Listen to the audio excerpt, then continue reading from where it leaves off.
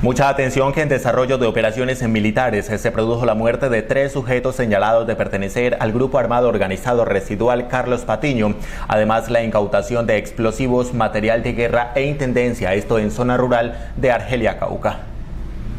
La acción militar se logró gracias a un trabajo coordinado con la policía en el corregimiento de Puerto Rico, municipio de Argelia Cauca, como parte de la operación Trueno con la que fueron neutralizados tres sujetos señalados de ser integrantes del grupo armado organizado residual Carlos Patiño. Continuamos con la fuerte ofensiva contra las estructuras narcoterroristas del GAOR y el ELN en el departamento del Cauca. En un trabajo coordinado e interinstitucional con nuestra policía, la fiscalía, se logró afectar el mando y control y sus finanzas contra el Gaor Carlos Patiño se produjo la muerte en desarrollo de operaciones militares de tres miembros de esta estructura,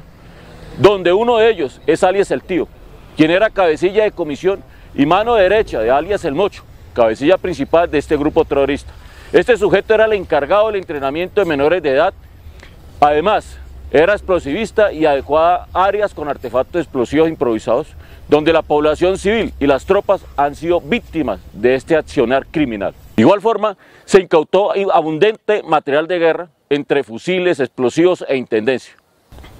Asimismo, hemos afectado el brazo armado del Gaor Dagoberto Ramos Ortiz.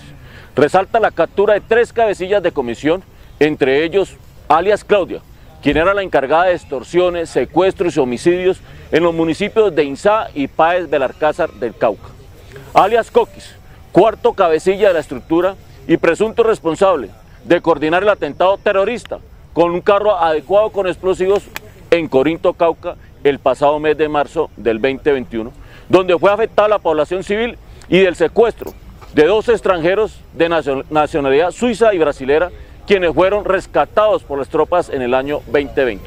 Finalmente, alias Johnny, cabecilla de la red de apoyo a la estructura residual y responsable de homicidios en Corinto y Caloto, y era quien hacía los atentados con lanzamiento de granadas a las estaciones de la policía en Corinto y Miranda. El Ejército Nacional continuará desarrollando operaciones coordinadas con la policía y otras entidades del Estado para brindar seguridad y tranquilidad a los habitantes de los corregimientos de Puerto Rico, El Plateado, El Sinaí, El Mango y Argelia Sur del departamento del Cauca.